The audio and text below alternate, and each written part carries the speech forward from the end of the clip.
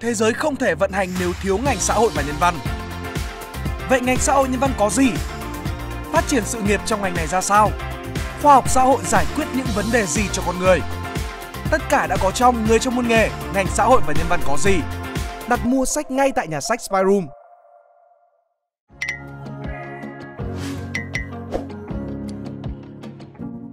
Tại vì bản thân trong ngành tâm lý, ngoài cái công việc gọi là bác sĩ tâm lý, ok, back lại một chút, mình mình bước ra ngoài cuộc nói chuyện một chút để chị giải thích về cái cụm từ bác sĩ tâm lý. Thực ra không có khái niệm là không có khái niệm nào là bác sĩ tâm lý cả, mà ở Việt Nam sẽ có hai vai trò chính đấy là bác sĩ tâm thần và chuyên gia tâm ừ. lý. Bác sĩ tâm thần sẽ là những người học về y, tức là họ là ừ. bác sĩ và sau đấy họ học chuyên khoa là chuyên khoa tâm thần thì khi tốt nghiệp họ sẽ được chẩn đoán và cách chẩn đoán của họ cũng rất là khác cách chẩn đoán của các chuyên gia tâm lý. Và sau khi họ chẩn đoán rồi thì họ sẽ dùng thuốc để điều trị. Còn các chuyên gia tâm lý thì sẽ là những người như chị học tâm lý lên học thạc sĩ tâm lý và chuyên sâu về một phương pháp trị liệu tâm lý nào đó. Ừ, có thể là bằng lời nói này và lời nói cũng có rất là nhiều những tiếp cận khác nhau. Và ngoài ra có thể tiếp cận trị liệu thông qua chuyển động thông qua cơ thể tại vì là cơ thể và tâm trí là hai cái cấu phần nó không thể tách rời. Cũng có thể thông qua nghệ thuật ví dụ những người nào mà họ không thích nói cái khả năng ngôn ngữ của họ không tốt họ là những người nghệ sĩ thì họ lại thích trị liệu thông qua nghệ thuật. Đó. Thì ừ. riêng cái bác sĩ tâm lý nhá nó đã là rất nhiều các vai trò khác nhau rồi nhưng mà mọi người hay gọi chung là bác sĩ tâm lý nhưng thực ra là không phải. Nó là bác sĩ tâm thần và chuyên gia tâm lý. Và ngoài cái việc trị liệu ra thì còn có thể làm tham vấn hướng nghiệp còn có thể làm trong các tổ chức phi lợi nhuận để hỗ trợ các cá nhân yếu thế. Ví dụ như là làm trong uh, tổ chức ở Hà Nội có Blue Dragon hoặc là hội phụ nữ và phát triển trẻ em. Ừ, đó thì hỗ ừ. trợ những cái nạn nhân bị buôn bán qua biên giới hoặc là trẻ em đường phố. Và ngoài ra thì có thể sản xuất các sản phẩm truyền thông đa phương tiện về tâm lý như là podcast này video này ừ. youtube channel này ừ đó. Thì một khi mà mình đã có cái nền tảng về tâm lý rồi thì mình nhào nặn những cái nội dung thành các hình thức khác nhau. Nó rất là đơn giản thôi ừ. tùy mình xây dựng cái bộ kỹ năng của mình như thế nào. Ngoài ra thì mình có thể viết sách này dịch sách này. Tại vì những cái người dịch sách mà không theo chuyên ngành tâm lý họ rất là khó để dịch đúng. Tại vì tâm lý có một đặc ừ. điểm đấy là những cái từ mà mình sử dụng trong tâm lý nó hoàn toàn giống với những cái từ mình sử dụng trong cuộc sống hàng ngày. Nhưng trong bối cảnh ngành khoa học tâm lý cái định nghĩa của nó là hoàn toàn khác. Ví dụ như là mình hay định nghĩa nhận thức. Bình thường mình nói chuyện với nhau là à nhận thức của hơi hơi sai ở đây hơi có nhận thức sai lệch rồi đấy hơi sai lầm.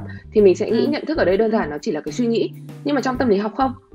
Nhận thức trong tâm lý học nó lại bao gồm cảm giác chi giác tức là perception này sensation này. Uh, nó có cả trí nhớ này. Mà trí nhớ nó cũng có nhiều mô hình trí nhớ khác nhau rồi nó có các cách tư duy khác nhau tư duy nhanh tư duy chậm tức là nó rất là ừ. rộng và cái cách định nghĩa những cái từ thông dụng trong tâm lý học là cực kỳ khác thế nên là đó có thể làm viết sách hoặc là hiệu đính sách dịch sách ngoài ra thì có thể làm ừ. vận hành hoặc là xây dựng các hệ thống hỗ trợ tâm lý trong các trường học hoặc là trong các công ty tại vì bây giờ thực ra những cái công ty tập đoàn lớn mà họ đầu tư vào cuộc sống của nhân viên ấy thì họ rất là chú trọng về mặt cảm xúc cũng như là đời sống của các anh em. Thế nên là đôi khi họ cũng sẽ cần một người như thế trong uh, trong doanh nghiệp. Ngoài ra thì có thể làm cố vấn này xây dựng chương trình đào tạo tâm lý chuyên ngành tức là về bộ môn tâm lý ừ. hoặc là về kỹ năng mềm. Và sau đó thì có thể đứng giảng dạy luôn. Ví dụ như chị thì ngày ừ. xưa chị cũng làm giảng dạy. Chị uh, dạy kỹ năng mềm bằng tiếng Anh cho đại học FPT và ngoài ra thì chị dạy uh, project based learning tức là dạy các kỹ năng về cảm xúc xã hội cho các bạn nhỏ thông qua các dự án tức là để các bạn ý bắt tay vào làm những cái dự án. Và thông qua dự án đấy thì các bạn ấy sẽ rút ra những cái bài học riêng cho mình sau đấy các bạn sẽ phản hồi lại cho mình. Đó thì ngày xưa ừ. uh, chị làm giảng dạy còn bây giờ thì chủ yếu là chị xây dựng chương trình cho các chuyên gia giảng dạy. Và ngoài ra thì còn có thể làm à. nghiên cứu nữa. Ừ, nghiên cứu tức là thu thập dữ liệu này phân tích này viết nên một cái bản nghiên cứu và sau đấy là publish lên một cái tạp chí chuyên san chuyên ngành nào đó. À, thì riêng trong ngành tâm lý là đã có rất là nhiều những cái vị trí khác nhau rồi. Bình thường mọi người nhìn từ ngoài vào thì mọi người sẽ chỉ thấy là à chuyên gia tâm lý là làm tham vấn. Nhưng thực ra không phải. Tại vì thực ra làm tham vấn một ngày chỉ được hai ba ca là mình mệt lắm rồi. Mình không thể nào mà nói chuyện với một người quá nhiều trong một ngày như thế, mình sẽ bị mệt, mình bị burnout mình không tập trung được. Thế nên là những người làm tâm lý sẽ làm rất là nhiều vai trò khác. Và ngoài ra thì, ngoài ngành tâm lý, thì các bạn vẫn có thể ứng dụng những cái kỹ năng mà các bạn đã được học trong ngành tâm lý để làm các ngành khác. Ví dụ như là sale này. Những bạn nào mà đã học tham vấn tâm lý ở đại học Việt Nam ấy, thì kỹ năng lắng nghe của các bạn này, kỹ năng phản hồi của các bạn rất là tốt. Các bạn cực kỳ hợp với cái vai trò sale. Các bạn hiểu khách hàng, các bạn biết khi khách hàng nói là các bạn sẽ um, à vâng vâng ạ. Thì không biết là nhu cầu ừ. của chị ngoài nhu cầu này thì chị còn nhu cầu gì nữa không ạ? Các bạn rất là biết khai thác thông tin. Ừ. đó và các bạn biết xây dựng chân dung khách hàng. Ui, làm sale cực tốt. Và ngoài ra thì có thể làm truyền thông làm copywriter. Ừ. tại vì khi khi đi học thì phải viết rất là nhiều phải trình bày thông tin phải sắp xếp thông tin mà các thông tin đều là những cái thông tin khá là trừu tượng chứ nó không rõ ràng như kinh tế là tôi có sản phẩm này sản phẩm kia mà tâm lý nó hoàn toàn là những cái tiến trình tư duy nó cực kỳ cực kỳ trừu tượng. Thế nên là cái khả năng um, khả năng truyền đạt và trình bày thông tin phải cực kỳ tốt. Thế nên các bạn hoàn toàn có thể làm trong truyền thông và copywriter. Ngoài ra thì các bạn có thể làm nhân sự nữa. Tại vì khi mà các bạn đã có một cái niềm đam mê về con người các bạn tìm hiểu về các tiến trình tâm lý cách cảm xúc nhận thức cũng như là hành vi của mọi người bị ảnh hưởng như thế nào bởi cái thế giới xung quanh thì các bạn làm nhân sự cực kỳ tốt. Các bạn rất là tâm lý. Đúng theo cái nghĩa tâm lý mà mọi người hay nói là thấu hiểu mọi người biết à. lắng nghe biết chia sẻ rất là nhạy cảm. Đó. Thực ra ngành tâm lý nó cũng có thể nó gần với các ngành liberal arts, các ngành giáo dục khai phóng. Là tại vì các bạn được tiếp xúc với một lượng thông tin cực kỳ khổng lồ về con người cũng như là cách con người sống trong một nhóm, sống trong xã hội, cách chúng ta tương tác, cách xã hội ảnh hưởng đến ta và cách chúng ta ảnh hưởng đến xã hội. Thế nên là gần như bất kỳ ngành nào có yếu tố con người thì các bạn tốt nghiệp ngành tâm lý ra đều có thể làm được cả. Chẳng qua là các bạn có đam mê, hứng thú với công việc đấy hay không và các bạn có đủ kỹ năng và thái độ phù hợp để làm công việc đó hay không thôi em em bây giờ em nghĩ là em đã có một cái nhìn ờ, chính xác hơn về ngành tâm lý học rồi đấy không còn bị uh, mơ hồ ừ. và gọi là gọi là cái gì generalize cái ngành này chỉ là ừ. duy nhất tụ về cái cái việc mà học về tâm bệnh học như chị vừa nói em chỉ muốn uh, làm rõ thêm một điều như thế này đó là khi vừa nãy chị có uh, sửa lại cho em cái việc mà em uh, gọi cái title đấy là bác sĩ tâm lý bằng việc gọi là bác sĩ tâm ừ. thần và chuyên gia tâm lý thì chị nghĩ ừ chị xem em hiểu như này có đúng không đó là cả bác sĩ tâm thần và chuyên gia tâm lý thì đều hướng tới việc đó là chữa lành về về mặt tinh thần cho có thể là người bệnh hoặc khách hàng của họ. Nhưng bác sĩ tâm lý thì sẽ tập trung vào việc trị liệu bằng thuốc. Còn chuyên gia à bác sĩ tâm thần là tập trung trị liệu về thuốc. Còn bác sĩ tâm lý à chuyên gia tâm lý thì sẽ tập trung vào những cái dạng uh, bài tập chữa lành này hoặc là qua vận động như chị vừa nói. Có đúng chị? Ừ, đúng rồi. Và thực ra là bác sĩ tâm thần họ vẫn có thể điều trị bằng những cái phương pháp tâm lý nếu mà họ có đi học và bồi dưỡng thêm kinh nghiệm. Nhưng chủ yếu thì họ sẽ vẫn trị liệu bằng thuốc hơn. Ừ. ừ dạ vâng.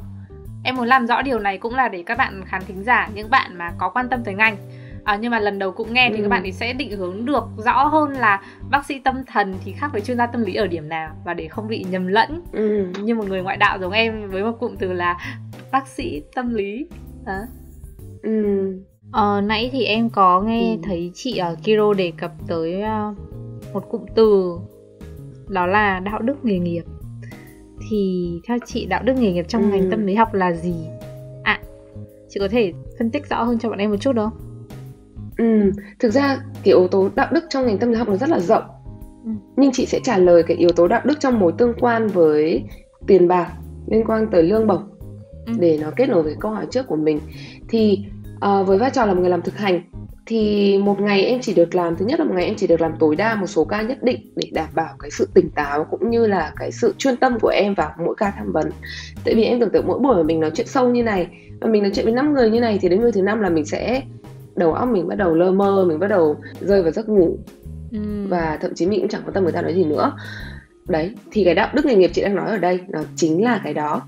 Đấy là cái thứ nhất nhá là mình phải biết cân bằng cái số lượng ca tham vấn của mình trong ngày để mình luôn luôn tỉnh táo luôn luôn sẵn sàng kể cả nó có nhiều tiền đến như nào được chăng nữa. Cái thứ hai đấy là mình biết cái giới hạn của mình trong ngành ở đâu. Ví dụ khi tham vấn cái đạo đức nghề nghiệp nó không cho phép mình tham vấn những người thân cận những người thân những người mình biết ví dụ như là bạn thân này hoặc là đồng nghiệp này hoặc là uh, sếp này để đảm bảo cái mức độ khách quan khi mà mình nói chuyện với họ để khi mà mình xây dựng cái mối quan hệ thân chủ và nhà trị liệu thì nó là một mối quan hệ hoàn toàn mới. Mình nhìn họ như một cái bức tranh hoàn toàn mới để ừ. mình sẵn sàng mình tò mò mình tìm hiểu họ và mình không bị gắn những cái quan niệm và những cái đánh giá của mình về họ trước đó vào mối quan hệ nhà trị liệu thân chủ tại vì nó sẽ làm ảnh hưởng đến cái tiến trình trị liệu. Đấy là cái thứ hai. Và cái thứ ba cái vấn đề này xảy ra khá là nhiều ở Việt Nam tại vì ở Việt Nam thì chưa có mã ngành mã nghề ai cũng có thể làm chuyên gia tâm lý. Mà rõ ràng nghe làm chuyên gia tâm lý rất là oai kiếm cũng khá là tốt nếu như biết làm thương hiệu cá nhân. Ví dụ như ngày xưa đã có rất nhiều rất nhiều người đã từng bị chỉ trích về việc là làm bằng giả này rồi đi tham vấn nhưng mà thực chất lại không được đào tạo chính quy. Thì ở Việt Nam khi mà bộ luật còn chưa đưa ra bất kỳ hình thức nào để xử phạt những người như vậy thì bản thân mỗi người phải có một cái đạo đức nghề nghiệp cho riêng mình để không vượt quá cái giới hạn của bản thân không làm những việc mình chưa bao giờ được đào tạo. Ừ. và đủ tỉnh táo để biết xem là công việc nào nên nhận công việc nào mình không nên nhận. Và những cái mình đang làm có thể ảnh hưởng tới người sử dụng dịch vụ và người khách hàng của mình như thế nào. Đó là cái đạo đức nghề nghiệp trong à, thực hành tham vấn tâm lý cũng như là đào tạo. Còn riêng về nghiên cứu thì nó lại có những cái vấn đề khác về mặt đạo đức. Ví dụ như là sẽ có người thuê thuê bạn để viết nghiên cứu thuê này ừ. làm giả data này. Ừ. duplicate dữ liệu này tức là chỉ có 20 khách thể nhưng mà cuối cùng lại copy paste thành 300 khách thể chẳng hạn. Đó thì đấy là những cái vấn đề mà thường gặp trong nghiên cứu. Thì bản thân mỗi người làm nghiên cứu họ cũng phải đủ tỉnh táo và họ cũng phải có một cái moral code họ cũng nên gắn với cái đạo đức nghề nghiệp của mình để không làm trái đạo đức lương tâm mà vẫn đảm bảo được cái nhu cầu của họ trong cuộc sống